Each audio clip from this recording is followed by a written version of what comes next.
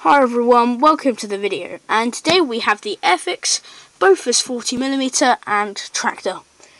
So um, let's start off with the tractor.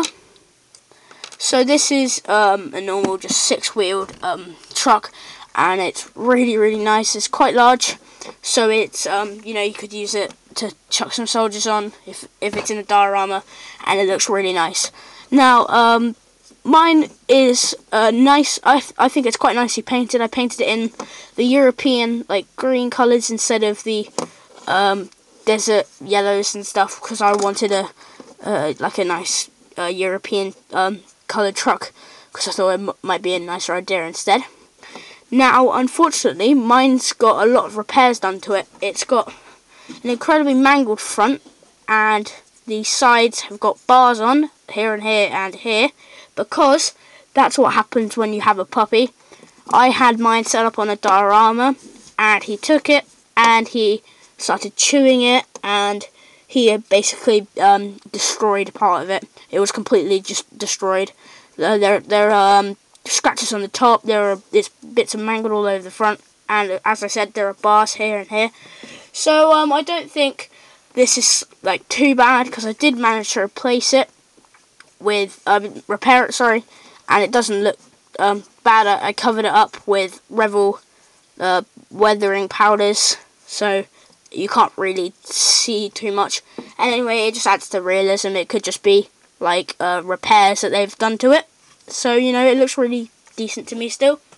So um, there are uh, quite quite big decals, and you know there are the desert rat ones, but I still added them because I still wanted decals on my model. So, um, yeah, I think this is a really, really great truck. So let's move on to the gun now.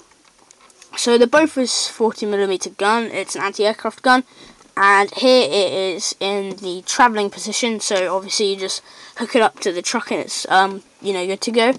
So it's, um, the, so I didn't glue the, um, gun in position, so you can lift it up and turn it around so you can set it down on a diorama or something and make it look really nice.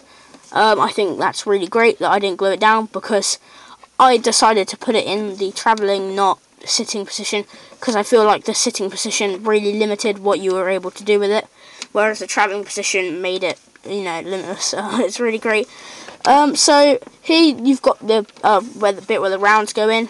Um, so you've also got a guy, uh, the loader, with more you know, bits, uh, more rounds on. Then you've also got two other guys, two other um, men sitting down, uh, firing the gun. So uh, finally, we have the guy um, with binoculars.